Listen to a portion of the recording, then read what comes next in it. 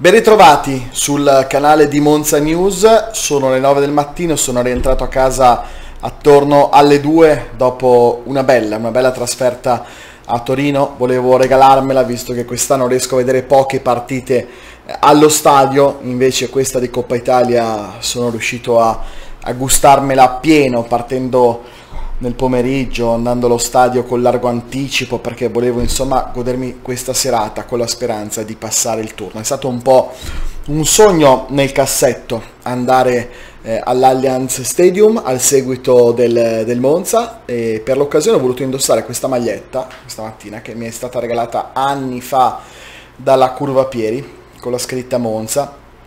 Dietro c'è una bella scritta andiamo a comandare forse perché all'epoca c'era una canzone che andava, andava di moda. Beh, ieri applausi ai giocatori del Monza e applausi anche ai suoi tifosi che hanno cantato dall'inizio alla fine. Ad un certo punto della partita si sentivano soltanto loro. È stato bello, è stato bello poi a fine partita sono andati avanti per...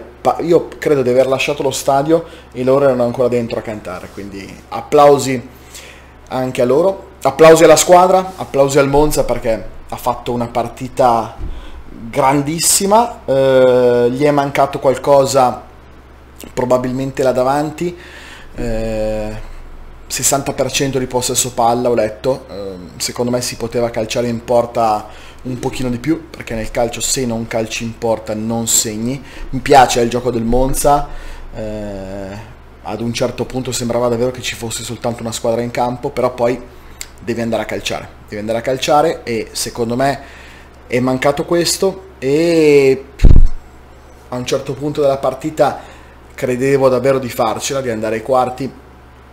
Eh, pensavo che Paladino schierasse qualche, non dico titolare perché poi qualcuno si, si offende, ma magari qualche giocatore che eh, gioca un po' più spesso. Ecco. E... Però è stata fatta una scelta, è stata fatta una scelta diversa, secondo me anche per dare una vetrina a quei giocatori che potenzialmente potrebbero avere marcato, che potrebbero andare via.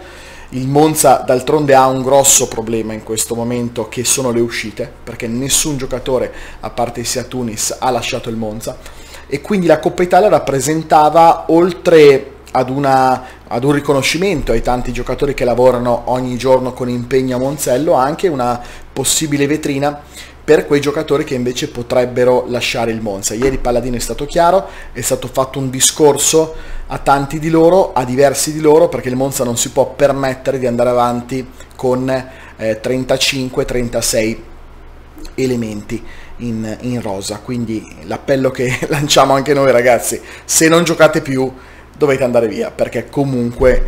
Eh, è brutto secondo me star qua, percepire lo stipendio e non giocare magari l'opportunità da altre parti di appunto, avere qualche chance di, di giocare.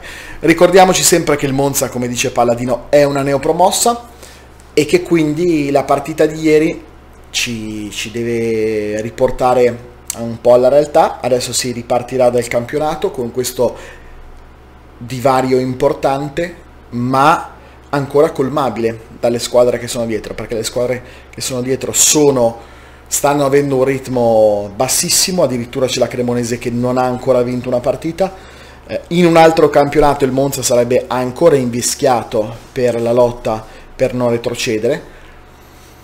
Però eh, siamo fiduciosi perché sotto la gestione Palladino il Monza ha cambiato registro, ha cambiato ritmo, ha una media punti, abbiamo fatto due conti da, da zona europea e quindi bisogna assolutamente andare avanti così, non mollare la presa, adesso c'è un solo obiettivo che è il campionato, cercare di stare lontani il più possibile dalla zona bassa della classifica e perché no magari avvicinarsi alla zona centrale. Adriano Gagliani aveva messo come obiettivo quello di arrivare al decimo posto, questa squadra ce la può fare, questa squadra secondo me può puntare anche l'ottavo posto, perché comunque l'ottavo posto ti darebbe la possibilità di non partire dai turni di, di Coppa Italia, se non sbaglio salti i primi 4-5 turni se non ricordo male.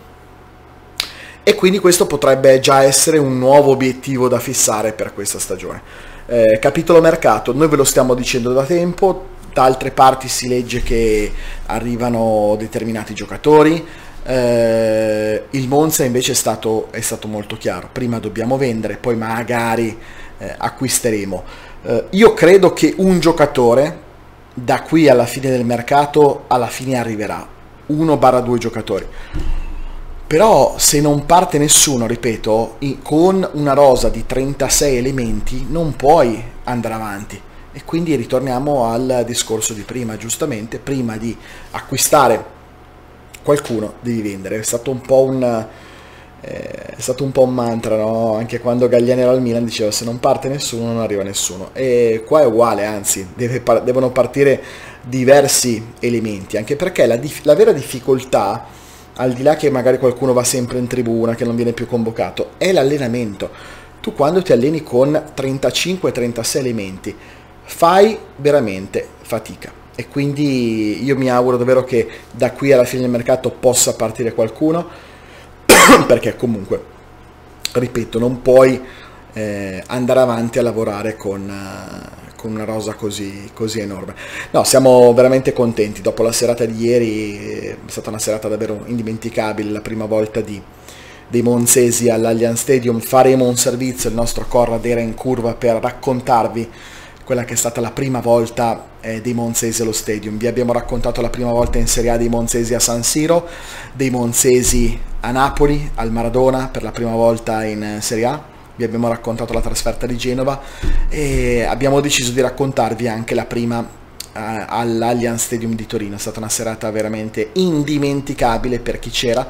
Ecco, forse mi aspettavo un po' più, un po' più tifosi, perché 350 tifosi per uno Juventus Monza me ne aspettavo un po, di, un po' di più, ve lo dico in maniera molto molto sincera, ma quelli che c'erano sono stati fantastici e quindi, e quindi va bene così, magari ce ne saranno di più in campionato, ieri sera faceva freddo, eh, insomma tante, tante, poi insomma è sempre difficile tornare a casa alle due di notte, svegliarsi alle alle 6, alle 7 del mattino. Per noi giornalisti che non facciamo nulla come tanti credono dalla mattina alla sera, magari è un po' più semplice, però insomma per chi magari deve andare in fabbrica essere lucido è, è, assolutamente, è assolutamente diverso, ovviamente lo, lo dico col sorriso sulle labbra.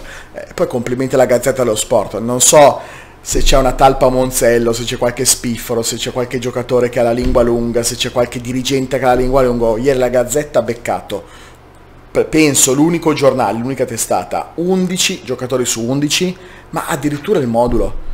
Ha beccato addirittura il modulo che nessuno sapeva di noi. Noi abbiamo ogni tanto abbiamo qualche informatore, anche noi magari riusciamo a beccare uno, due, tre titolari. Allora la Gazzetta ne ha beccati 11 su 11. Qui complimenti, niente, niente da dire. Eh? Chissà, chissà chi è la fonte a Monzello, perché voglio dire, non, non, non può, su una rosa di 36 mi viene difficile pensare che la Gazzetta si alza al mattino e azzecchi 11 giocatori su 11, 11 giocatori su 11, compreso un nuovo modulo.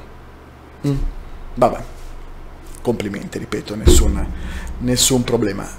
Ora testa al Sassuolo, testa al Sassuolo, abbiamo dei precedenti favorevoli con loro. Sassuolo per me rappresenta eh, una semifinale playoff con gol di Marco Zaffaroni, una partita incredibile vinta dal, dal Monza di Benini che poi ci proiettò alla finale eh, di Pisa, ho ancora negli occhi quella, quella partita. Eh, da lì in poi le strade sono state un po' diverse, il Monza ha fatto tanta fatica negli anni, Sassuolo invece ha costruito qualcosa di incredibile.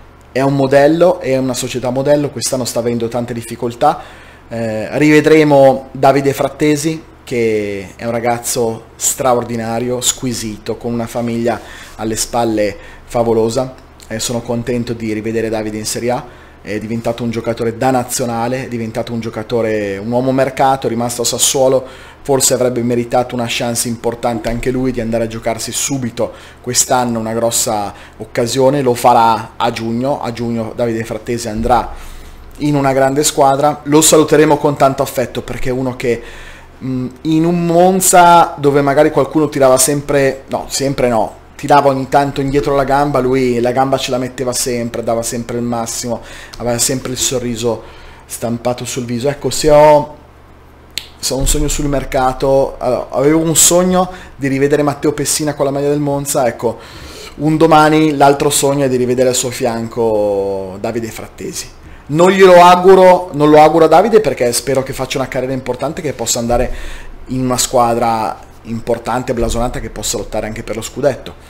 Eh, però ecco, mi piacerebbe prima o poi rivedere eh, Davide Frattesi con eh, la maglia del Monza. D'altronde questa società eh, ci ha fatto capire che può arrivare chiunque qua, può arrivare Balotelli, può arrivare Boateng, può arrivare Matteo Pessina, quindi chissà, magari un domani rivedremo Davide Frattesi con la maglia del Monza. Credo di avervi detto tutto, mi raccomando state collegati su Monza News perché a breve pubblicheremo il video di, di Cora del Brianzolo sulla trasferta dei monzesi all'Allianz Stadium, appuntamento lunedì a Unica Calcio Monza, torneremo a parlare di eh, Juve Monza, parleremo di Monza Sassuolo, insomma avremo tante cose e poi grande spazio naturalmente al calciomercato. Mi raccomando, vi aspetto lunedì sera, Unica Calcio Monza, ore 21.30, Unica TV e poi ogni giorno l'edizione del telegiornale di Monza e Brianza. Ciao, alla prossima e buon weekend.